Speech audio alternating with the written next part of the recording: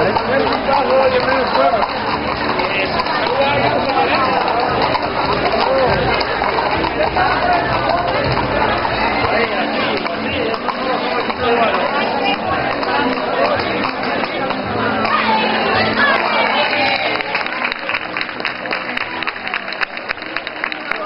billeta, va.